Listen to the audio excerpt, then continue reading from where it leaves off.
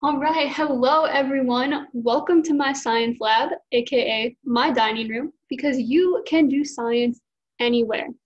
This week's science investigation question is Can you make a paperclip float? As you can see here in front of me, I have a bunch of different liquids that we are going to test this question with. Okay, so our controlled variable, the thing that we're going to use as the measuring stick for the rest of our experiment is regular tap water. I'm asking that question, can a paperclip float on top of regular tap water? Because if you remember, we've been talking about surface tension recently. So does regular tap water have enough surface tension to hold up a paperclip? After I test that one, I'm gonna test my paperclip with salt water. This is salt water uh, regular water that I added just a tablespoon of household salt to right here. Then we have soapy water. This is a cup of water that I added a tablespoon of dish soap to. Okay, and then we have fruit juice. I just pulled a leftover Capri Sun from my kitchen and I'm gonna test it with that. Okay, so our investigating question here is which of these liquids, or maybe it's all of these liquids, has a high enough surface tension to make my paperclip float. Okay, so to start off our investigation, the first thing I want to test is, can my paperclip float just on the top of plain water? Let's go ahead and see. I don't know if you can tell, but my clip paperclip sunk pretty quickly there. Okay, so if you guess that a paperclip was light enough to float on water and that plain water had a high enough surface tension just to make your paperclip float, your hypothesis was actually incorrect. But that is okay because as we've learned, it's all right to disprove a hypothesis. That just means we have more things to learn and we have different questions to ask. So the next question I'm gonna ask is, if I put a piece of paper under it, now this is just a napkin that I tore up from my kitchen, will the paperclip float then. Let's go ahead, pull our paperclip out, dry it off, and see. Okay, so I have my napkin ready. I have my paperclip ready. I'm gonna do my best to put this paper in the water as gently as possible so that I don't make any waves that are gonna capsize my paperclip. Okay, or I might just drop it on the ground. Okay, so I put it in very gently. I make sure my whole paper clip is on the piece of paper. And look, can you see my paper clip is floating now?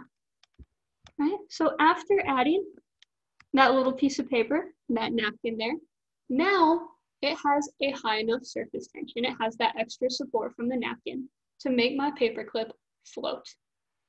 Okay, so this is our controlled variable. We know that a paperclip under normal conditions in regular tap water will not float. But if we support it with a piece of paper, suddenly it does. Okay, and we're gonna think about that as we move on to the rest of our experiment. So I told you the next mixture was gonna be salt water. So I have a tablespoon of salt, I have a cup of water. I'm gonna go ahead and pour it in and mix it together to make my salt water mixture. I think that looks pretty good and mixed. It looks a little bit foggy still because the salt is settling in it. So I'm gonna take my paper clip and get it ready for this experiment. I'm gonna start by doing the same thing that I did last time. I'm just gonna drop it in and I'm gonna see, will it float just plain, uninterrupted on the top of my salt water. It did not. I don't know if you can see it, but it did sink down to the bottom. Okay, it's still a little foggy, so it's kind of hard to see, but my paper clip is down there at the bottom of this. Okay, so I'm gonna pull it out. I'm gonna dry it off, and I'm gonna do the exact same thing that I did with my regular water. I'm gonna slide a little piece of napkin underneath and see, will it float now with a napkin under it? Okay, so I have my napkin ready. I have my paper clip on it. and I'm gonna lay it gently on the top of the water.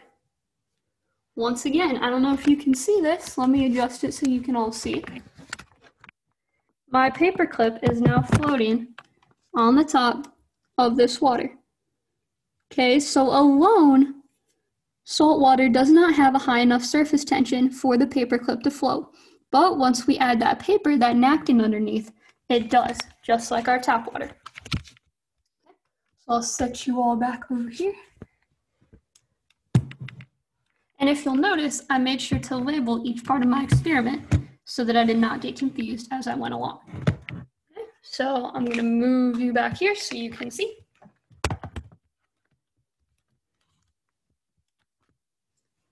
And we're gonna move on to our soapy water, right? So I'm gonna take my one tablespoon measuring spoon back out, and I'm gonna measure one tablespoon of dish soap.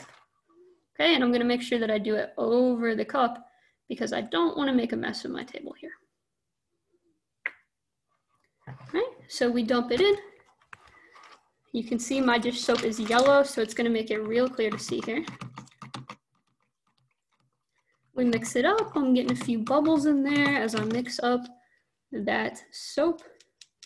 I'm gonna take it out and I'm gonna get my paper clip all ready to go. I'm drying it off. And the first thing that I'm gonna test is, does this paper clip float just putting it in at the top of the water? It did not. As you can see, it sunk straight to the bottom. So soapy water on its own does not have a high enough surface tension to hold my paper clip. Let's try soapy water aided by a piece of napkin, by my piece of paper. Okay, so just like I did last time, I'm gonna put my little paper clip on top of my little napkin boat here. I'm gonna lower it ever so gently down and apparently just drop it right into the pit of water. Okay, that's okay though, because sometimes mistakes happen when we do science. Okay, and that is why I also came prepared with extra squares because Miss Reniker is clumsy. Okay, so we put it back in our little boat. We lower it back down gently and lay it on top of the water. I don't know if you can see this, but I see a floating paper clip. Okay, so right now we are three for three. I don't know what your hypothesis was. I don't know if it was that they would all float or that they would all sink. But wait, we have a development in the time that I've been talking. It did sink. Okay, so sometimes that proves a great point. Sometimes you need to keep an eye on it for maybe a few seconds before you make any quick judgments. You need to see are things going to change over time. Okay, so in the course of that five or 10 seconds where I started talking to you, it already sunk, which tells me that soapy water doesn't actually have a high enough surface tension to support this paper with the paper clip. Okay, so we are gonna move on to our last investigation variable. We are going to see can juice, can a Capri Sun support the weight of a paper clip? Okay, does it have a high enough surface tension to make our paper clip float? So just like every other liquid, I'm gonna drop it in on its own and see. I have a little bit less liquid in this one because my Capri Sun pouch wasn't very big. And my bowl's a little bit bigger, but that's okay. You can see it immediately sunk real quick straight to the bottom. And that's all right. We pull it out, we dry it off. We get our little napkin and we make a little boat for it so that we can test it again with this paper. Okay, so I take it, I lay it gently on the surface of the liquid, and I see, does it float? That looks to me like it's floating.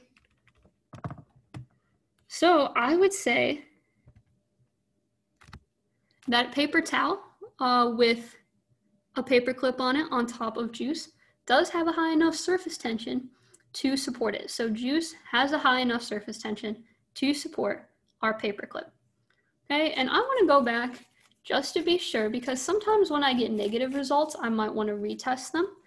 Um, usually it's a good idea as a scientist to test your experiments multiple times, just in case there was an issue or in case there was an anomaly or something strange with one of your experiments.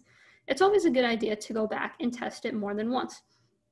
So since I had pretty consistent results with all the other liquids, but my soapy water was a little bit off, that makes me ask the question, it makes me wonder, um, was it really the soapy water or was it something that I did? So I'm gonna go back and I'm gonna test it again just to see if I get the same results. So I have my napkin and I have my paper clip. Okay, I drop it in very carefully and it sunk again. Okay, so I think we can say pretty surely that soapy water does not have a high enough surface tension to support a paper clip, even when we put that napkin underneath. Okay, so our hypothesis that was proved for this experiment is that soapy water does not have a high enough surface tension to support a paperclip, to float a paperclip. But juice, salt water, and regular water do. When we add a napkin underneath, none of them have a high enough surface tension to support a paperclip on its own, to make it float on its own. But when we add that napkin, juice, salt water, and regular water do. Okay, so now you're gonna go ahead, we're gonna break and you are gonna fill in your investigation notes. You are gonna fill in those observations that you made, the things that you saw with your eyes or the things that you heard with your ears. Um, you're gonna compare the different liquids and you're gonna write about whether or not your hypothesis was proven or disproven.